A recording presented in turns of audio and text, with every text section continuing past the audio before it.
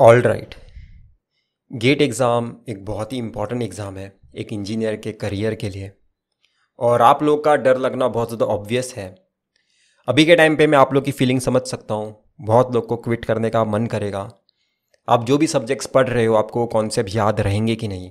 आप रिविजन करने के बाद भी फॉर्मूलाज याद रख पाओगे कि नहीं? ऐसे बहुत सारे सवाल हैं, जिस वजह से आपको क्विट करने का मन करेगा ये जर्नी पर मैं आपको बताना चाहता हूँ आई के प्रोफेसर जो भी गेट एग्ज़ाम फ्रेम करते हैं, हमेशा यही कोशिश करते हैं कि बेसिक्स पे वो सवाल पूछें।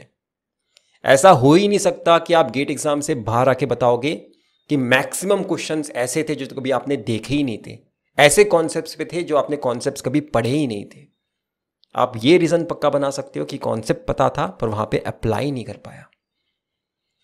अगर आप सोच रहे हो कि आपको हर सब्जेक्ट में एक्सेलेंस अचीव करना है, ठीक है, मैं हमेशा बताता हूँ सब्जेक्ट में एक्सेलेंस अचीव करो, पर हर सब्जेक्ट में आप एक्सेलेंस अचीव नहीं कर सकते। तो ऑल इंडिया रैंक वन भी आना है, या फिर डबल डिजिट रैंक भी अगर निकालना है तो भी हर सब्जेक्ट में बेस्ट होने की ज़रूरत नहीं है। अगर आप हर सब्जेक्ट में एवरेज होगे तो भी काम बन सकता है। आपको गेट एग्ज़ाम में क्वेश्चन समझ में आना चाहिए कि क्वेश्चन कौन सा चूज़ करूँ सॉल्व करने के लिए और कौन से क्वेश्चन स्किप करके आगे जाऊँ। डिफ़िकल्ट क्वेश्चंस या फिर जो आपसे बन नहीं सकते थे, वो आपको आइडेंटिफाई करने आने चाहिए। क्वेश्चन देखकर समझ में आना चाहिए, एक डिसीज़न लेने की एबिलिटी होनी चाहिए। और वही एबिलिटी होगी, उसी इंसान में होगी, जो फियरलेस होगा। अगर आप सब्जेक्ट में एक्सलेंस भी अचीव करोगे अगर आप डरते हो एग्ज़ाम से तो आप कैसी क्वेश्चन पढ़ने की हिम्मत करोगे? कैसी क्वेश्चन को जज कर पाओगे कि ये मैं बना सकता हूँ या फिर नहीं बना सकता हूँ? आपके मन में टाइमर का ख्याल होगा, आपके करियर का ख्याल होगा, आपके फ्यूचर का ख्याल होगा, ऐसे बहुत सारे ख्याल आपको सताएँगे और आप तीन घंटे वेस्ट करके आ सकते हो। आपको बनना है फियरलेस आपको फास्टेस्ट नहीं बनना है, आपको स्ट्रोंगेस्ट नहीं बनना है किसी सब्जेक्ट में। आपको बनना है फियरलेस जंगल में भी किंग ऑफ़ द जंगल कौन होता है? लायन होता है। क्या वो फास्टेस्ट है? नहीं फास्टेस्ट चीता होता है। क्या वो टॉलेस्ट है नहीं टॉलेस्ट जिराफ होता है। स्ट्रॉन्गेस्ट होता है एलिफेंट पर हम किंग ऑफ़ द जंगल मानते हैं लायन को। लायन खुद से बोल बोल के नहीं बताता कि मैं बेस्ट हूँ, मैं बेस्ट हूँ। वो फियरलेस है।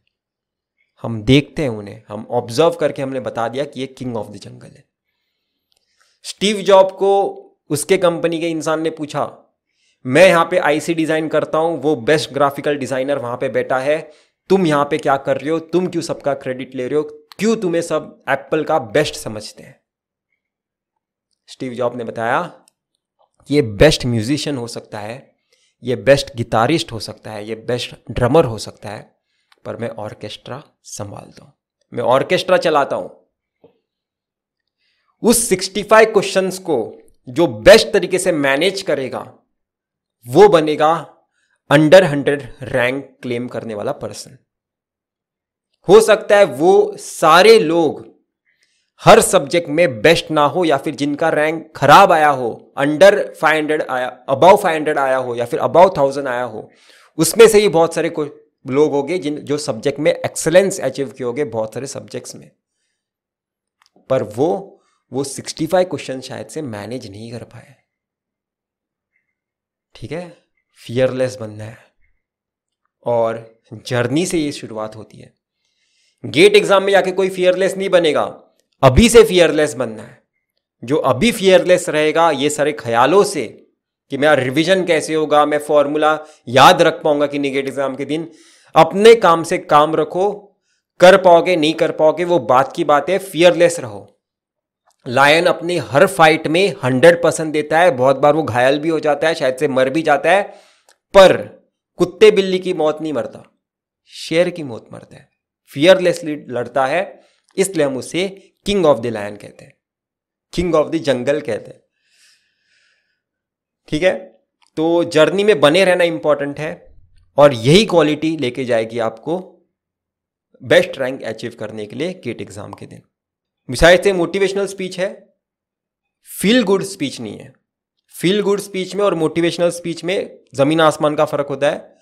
फील गुड में हम बताते हैं कि तुमसे हो सकता है, तुमसे हो सकता है, तुमसे हो सकता है। मोटिवेशन में बताते हैं कि तुमसे क्यों हो सकता है। मैंने आपको बताया कि तुमसे क्यों हो सकता है। ठीक है? तो मोटिवेशनल स्पीच देना कोई प्रॉब्लम नहीं है। बहुत लोग बोलते हैं कि मोटिवेशन से कुछ नहीं होता। मोटिवेशन से ही तो होता है फील गुड से कुछ नहीं होता। तो दोनों चीज़ों को कंफ्यूज मत करो। बहुत लोग को बहुत सारी चीज़ों में क्लैरिटी नहीं है, इसलिए वो भी कंफ्यूज है, इसलिए औरों को भी कंफ्यूज कर रहे हैं। मैं होप कर रहा हूँ कि आप फियरलेस बनोगे, ठीक है? फियरलेस ही की है गेट एग्ज़ाम को क्रैक करने की। वही इंसान मैनेज करेगा 65 क्वेश्चन बेस्ट वे में। बेस्ट नहीं होगे हर सब्जेक्ट में तो भी चलेगा। अगर बेस्ट होते तो अननेसेसरी अपना ईगो लाते क्वेश्चन में, और अननेसेसरी अपना उस सब्जेक्ट का क्वेश्चन आने पर अपना टाइम वेस्ट करके रख देते उस तीन घंटे के अंदर। अगर एवरेज हो हर सब्जेक्ट में तो ज़्यादा अच्छा है। और क्या बताओ तुम लोगों को? अभी इतना बता दिया हूँ, अभी प्रिपेयर करो और हम फिर मिलते हैं किसी वीडियो में। तो इतना ही था इस वीडियो में, हम फिर मिलेंगे किसी वीडियो के साथ।